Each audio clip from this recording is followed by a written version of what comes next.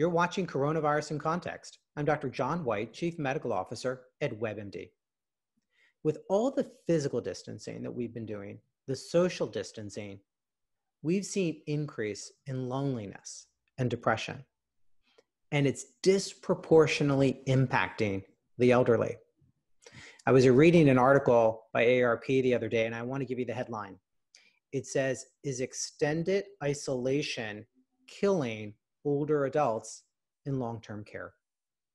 To help provide some insights, I've asked back one of my favorite guests, Dr. Terry Fulmer. She's the president and CEO of the John A. Hartford Foundation. Dr. Fulmer, thanks for joining me. John, I'm so glad to be with you. This is such an important topic. You've been a proponent all your life for aging properly, healthy aging, Tell us about the impact that loneliness is having, particularly on the elderly. John, loneliness is something that's so painful for older people who are isolated in either their homes, their assisted living facilities, nursing homes. And the National Academy of Science, Engineering, and Medicine released a report in February 2020, almost prescient, thinking about social isolation and loneliness in older adults, and their findings were quite stunning. They found that 40% of older adults note that they are lonely, and that is the subjective sense that you are without friends or feeling alone. And then another, almost 25% said that they felt socially isolated. Now, compound this with the COVID 19 pandemic, and you can only imagine what's going on in these settings of care. You know, I have some interesting statistics I want to share with our listeners that isolation and loneliness are associated with a 50% increase in developing dementia, a 32% increase in stroke, a fourfold increase of death among heart failure patients. And this article talks about a woman's mother, 99, living in assisted living you know, using a walker, but getting around. And now she talks about she's really in an abyss. She wants to visit her mother, but she's not allowed to physically. Yeah. So where's where's the middle ground? Yeah. Recognizing that is is it possible to have some loosening of restrictions? How do we decide on a case by case basis? I, I think we're moving away a little from this all or none approach and figuring out how do we balance. If um, you live in a rural area and your county has almost no cases, your Department of Health and your nursing home are going to be making their decisions a little differently than if you're uh, in uh, dense city, for example. So first of all, it's thinking about the environment in which you live and working with your public health office in your county to say what's safe, what can I do, um, and what do we know? Because we do know that it's the contagion around you that's so dangerous. If your county has no cases and you've not traveled at all, could you go and see your daughter? Well, I think that's something to negotiate. Mm-hmm.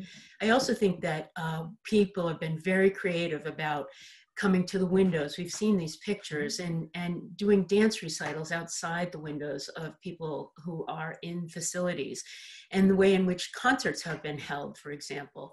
So the other thing we know is that setting up a communication plan, we have a lot, of, we have a big family. And so we, we sort of have a strategy about whose day it is to be in mm-hmm. touch and um, we're all sending cards and letters and greetings and Aunt Rita is 92 and she just learned Facebook.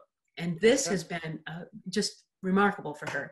And it's a whole new window for her. So I think thinking of all the strategies that are appropriate, that are uh, acceptable to that older person is what we must do now. For those that have loved ones in assisted living and nursing homes, do you need to start engaging more with the professionals there, talking about what could be potential you know changes to to systems we've been hearing more about hospitals allowing visitors in you know more frequently than they were before we saw that in terms of live births really trying to balance the the competing demands of trying to have infection control and at the same time recognizing the impact of loneliness, depression, its role in mental health, and then ultimately its role in a person's physical health. Right. So, John, you know that our foundation is very keen on thinking about age friendly health systems. And that system starts wherever you are, whether it's the nursing home or the assisted living facility or your own kitchen. So, what we think about in our age friendly health system approach is our, our essential set. And those are the four M's. So, we start with what matters to the older person. And if what matters to them is making sure that they have a virtual conversation with a family member every single day, then the assisted living facility or the nursing home nurses or do everything in their capacity to try to respect that. I have seen heroic actions and, mm-hmm. and extremely gifted, talented mm-hmm. nurses, nursing assistants, physical therapists, doing everything they know how to be creative to keep those older individuals connected. And that's what matters. The other elements of our four M's are mentation. So you mm-hmm. mentioned that with social isolation comes an increased uh, risk of depression, dementia, delirium, mm-hmm. very, very serious uh, issues. And so thinking about mentation and really following that, if an older person starts uh, speaking differently than they usually do, if they're missing their dates, if they are missing their names, and that's a new change, you really want to alert uh, your physician or primary care uh, person to say something's changing. The next yeah, one's medication. People have been talking about that because we do want to take that seriously. I want to underscore that point. If people are starting to see a difference, mention yeah. that earlier, as you've talked about, maybe you know their speech pattern or their you know if their awareness of you know the day is different than it was before so so that's good. So let's go through the four m's which you and i are, are big fans of. I know i am as well. So we have what matters mentation. Medications. And so with covid and with the changes and with the isolation and what if an older person hasn't been eating and there's weight loss? That could mean that medications are now too strong for them. Mm-hmm. And so we have to be monitoring each of these physical changes with cognitive changes, but asking yourselves, can we deprescribe anything that this person is taking right now? Is there anything that might have been okay that could now be harmful? Mm-hmm. Medications, very important to think about deprescribing, titrating, and looking out particular for those medications that can be particularly dangerous for older people. Then our final M is mobility. And what could be worse for an older person than being stuck in a room, no matter where they are, stuck in a building? Uh, the the opportunity for us to do some check-ins with them and say, let's do some physical activity together. Let's do some physical therapy today together on camera or by telephone. There are people who don't have Zoom. And so what if you called and said, you know, mom, I really want to talk about stretches today. Let's do that. And how are you feeling? And how's your balance? If an older person were to fall and end up with a hip fracture and go to the hospital, well, then you, we've tripled the threat right there. So what matters, mentation, medication, mobility, watching those, watching the interactions of that set and making sure that we're doing everything we can and not discounting because somebody is in a nursing home. They need mobility more than the rest of us. Right. And now's the time where it sounds like we need to make more of an effort, recognizing it's hard to begin with, but even more so now during these times. Do, do you expect visitation policies to change at all in the next few months? We've seen visitation policies evolve since COVID started from not recognizing how serious it mm-hmm. was to, and by the way, having uh, even people from the Department of Public Health come in without, you know, initially and being allowed to come mm-hmm. in without testing. And now we see that there are COVID wings that are being, which, which therefore means that you can socially isolate people who um, are COVID free from those with COVID. So that makes it a little safer. So, yes, I do think that everybody is trying really hard to get these uh, uh, visitation principles and priorities uh, loosened so that people can be with their loved ones. We also yeah. know, John, and I was reading this morning, that there's a decrease in the admission rate and in the uh, total number of people who are now in nursing homes. People have, to the degree possible, gone home. I was so, going to ask you about that. Yeah. That you know, we talked about that several months ago. What do you think's driving that? Is it is it just because it's the fear of COVID? Is it because people are working from home now? So maybe they feel they have more of an opportunity? to take care of loved ones, but that might change as they return. Yeah. What, what's the driver? There was documentation by McKnight's this morning saying that there's an overall decrease in people uh, choosing to go to nursing homes, Mhm. that they are afraid, that they uh, are making alternative arrangements. Most older people left to their own devices would much rather stay at home Sure. or stay with people who are related to them or dear friends. And so we're seeing that shift and, and we need to pay attention to it. The other thing we saw right during the the height of the pandemic was there were fewer elective surgeries and so people who would normally go to a nursing home because they were recovering and needed rehabilitation from a hip surgery aren't going there and so we're seeing those changes as well and we we don't know what our new normal is yet Let's be transparent. There have been a lot of deaths, percentage wise, that have been in nursing homes versus the general population. right Um, it seems like we're getting better in terms of controlling the spread, controlling, you know, the morbidity and mortality associated with COVID in nursing homes.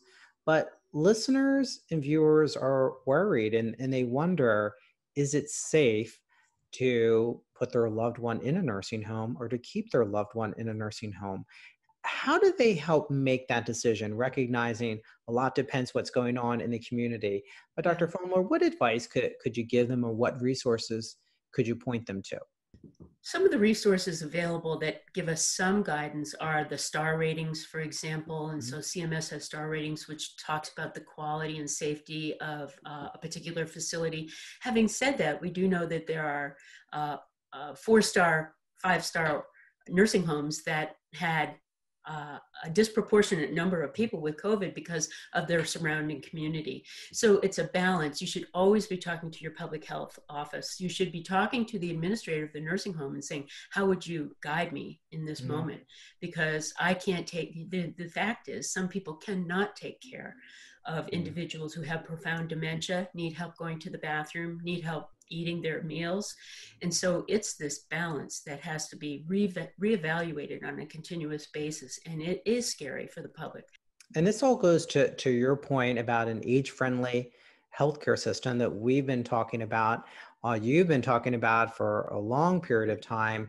Tell our viewers what else the John A. Hartford Foundation is working on and, what resources you have available to them. Oh, I'd love to do that, John. So our our mission is to improve care for older adults. We take the science that's generated by the National Institutes of Health and uh, the CDC and others, and we get it into practice in reliable ways. And particularly, we partner with uh, the Institute for Healthcare Improvement, the American Hospital Association, the Catholic Health Association, CVS Minute Clinics.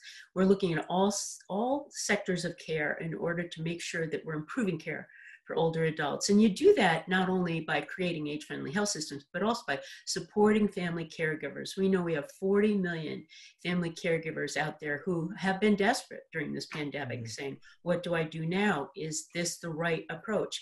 And AARP has done some really nice work trying to give toolkits and support systems, as has Leading Age and ACL. So there's a lot of organizations out there who are really working hard to support those family caregivers. So we're going to put the URL uh, so viewers can see it. And, and also, you're very active on social media, and we'll put your Twitter link up here as well. Uh, Dr. Fulmer, I want to thank you for all you're doing for supporting research around age friendly healthcare systems, for your advocacy of patients and caregivers, and, and really your help in guiding us through this pandemic that we experience once a century. And we're grateful to WebMD, John, for all you're doing to get the word out and to get the voices of leaders around the country uh, in front of people. Thank you. And I want to thank you for watching Coronavirus in Context. I'm Dr. John Whyte.